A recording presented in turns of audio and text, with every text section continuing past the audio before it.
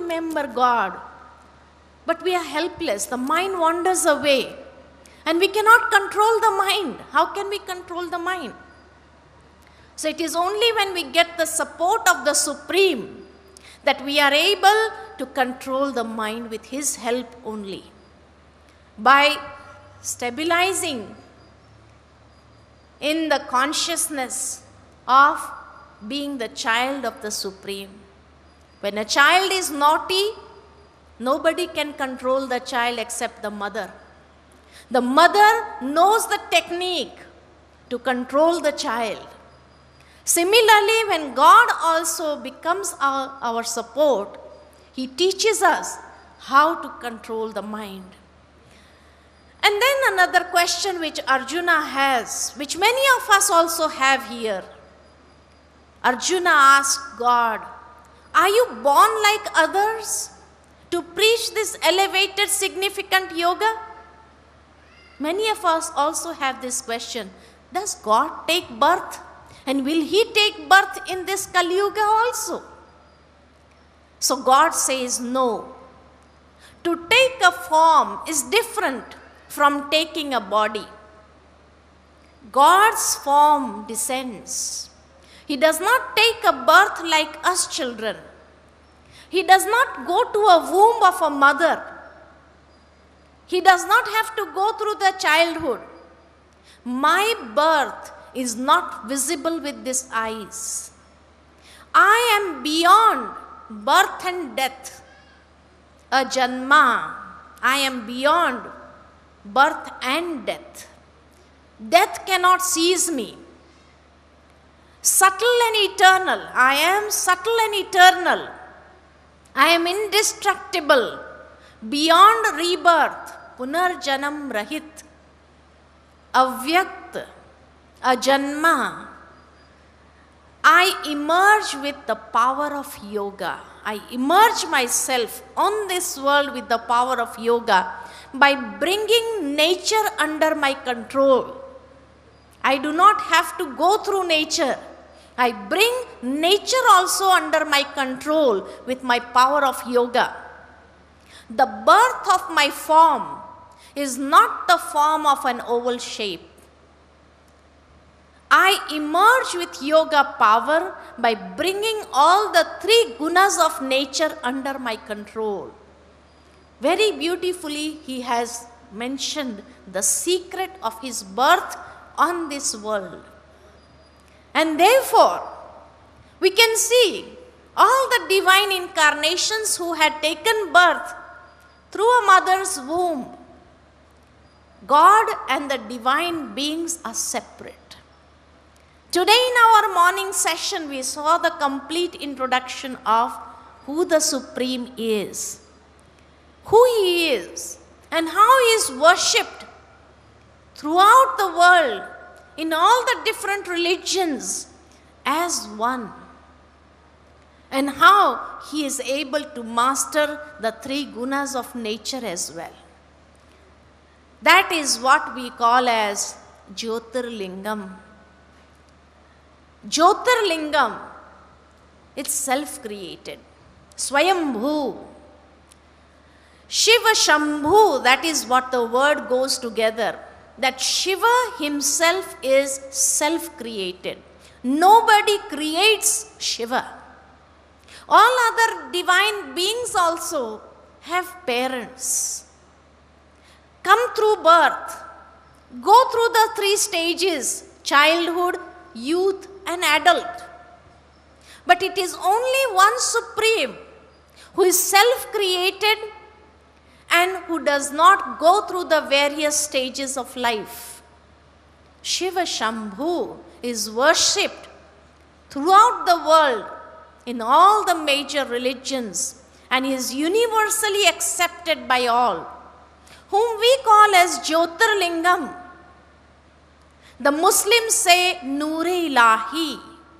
Noor means light, self illuminated light, which is so powerful, whom Christians term as light, Jehovah, the supreme light, whom The Jainis say as Siddh Shilapati, whom the Buddhists say as Chinkon Sheki, and whom the Parsis term as the holy fire. So he is universally accepted by all the religions in form of light. And at that time, Arjuna has another question. When he says, I cannot be seen through these physical eyes, I am beyond birth and death and rebirth. Then he says, When and in which situation do you emerge on this world? He did not say in when, when and in which situation did you take birth. When did you emerge? Emerge means when he is Swayambhu, then he just incarnates. So when did he emerge? So that is when God says, Yada yada hi dharmasya glanar bhavat bharat. When the heart is filled with strong dislike for the highest religion and supreme soul, when irreligiousness increases in the world, it is at those times that I create my form and incarnate myself. Here, incarnation does not mean rebirth but reincarnation. And he says, What does he do? After incarnating, coming to this world, emerging on this world, what does he do? So he says to let the wisdom, hmm, paritranayam sadhuna, to let the wisdom, distaste, and divine sanskaras that bring one closer to the highest goal of the Supreme Soul flow without any obstruction. Let it flow smoothly in the world. And to destroy lust, anger, attachment, hatred, and such vices through which wrong actions are performed. Sinful actions are performed because of the vices. When the influence of the vices increase, the sins are committed. So he wants to remove these vices when the influence of virtues, values increase, that is when he is able to re-establish the most ancient and highest religion, and I emerge at every such age. So that is why he comes onto this world. Now, here the word age means yuga, yuge, yuge. So, here the word yuga does not mean at golden age, silver age, that is Satyuga, Treta Yuga, Dwapar Yuga, Kali Yuga, in every yuga? No. But when tamas gun, that is impurity, is in its extreme, there is enmity and objection in all four directions. When impurity is in full action, and there is great amount of laziness, sleep, lethargy in human beings. When people are not able to perform their duty, which they are aware of, and they are not able to free themselves from the action that are forbidden to do, I emerge in such an age where there is such an up and down of religion, where is, there is such upheavals of religion. That is why Duryodhana mentioned, I know what religion is, but I do not want to follow. I know what irreligiousness is. I know what adharma is, but I cannot practice. Hmm? I know what religion is, I know what dharma is, but I cannot practice. I know what adharma is, but I cannot give up.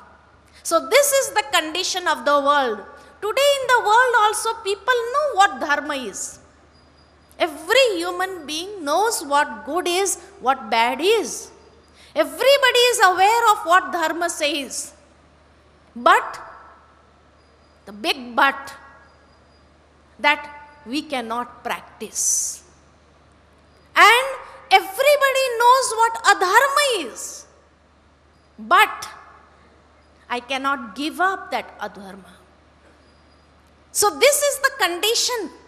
And that is the time when God has to emerge his form and give strength to those who are religious to follow the path of dharma and overcome the path of adharma.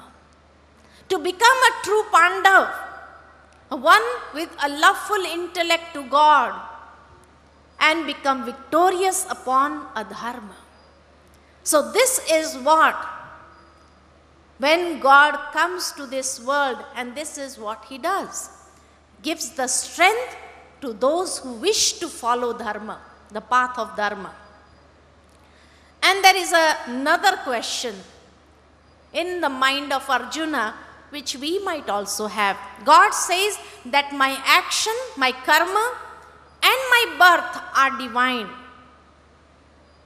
मेरा जन्म और कर्म दिव्य है my birth and my action is divine and spiritual, which cannot be seen with these physical eyes. So then Arjuna says, then who can see and understand this? So he says, only those who become pure through knowledge, who knows how to purify themselves through knowledge and penance and tapasya, and are free from attachments, fear, and anger, are able to see and have my divine vision. They only can see my real form. Only the ones who have had the vision of the soul, that is, only those who have had self realization, will understand my manifestation that God incarnates in a particular loved one. Everybody cannot understand the divine incarnation, the secret of the divine incarnation of God. In order to understand that also, I need to have a pure mind. If it is filled of desires, attachments, fear, anger, impurity, it is impossible to have his divine vision, to understand the purpose of his incarnation on this world. And that is when human beings recite the shlokas of Gita, that's all, but not able to practice in their lives. And Gita does not mean just re- recitation of slokas. Gita means the art of living. It teaches us how to live practical in this world of Kali Yuga. So, this is how he explains one by one secrets of his being in this world. Further, he blesses Arjuna and says, Hey Parth, those who worship me with intense love, when we remember God with love, I too give them that much cooperation. Those who love God, they experience the cooperation of God at every step. But those who challenge God, God moves away from them never gives them this experience of cooperation also. So, those who remember me with intense love, I too give them that cooperation. The faith of the effort maker itself becomes mercy for himself. It is not that God only loves some. If He is the Father, He should love all. God's love is for all the souls. But in order to experience God's love, the mind should be filled with love so that I develop that worthiness to experience His love and cooperation. It is not that the parents do not love their children, but still, some of the parents would compare themselves my parents love my younger brother more than they love me. This is their complaints. Actually, the love of the parents is equal for everyone. But as much as the worthiness is, So much love is experienced by the child. Because the younger one may be more worthy, more obedient, following the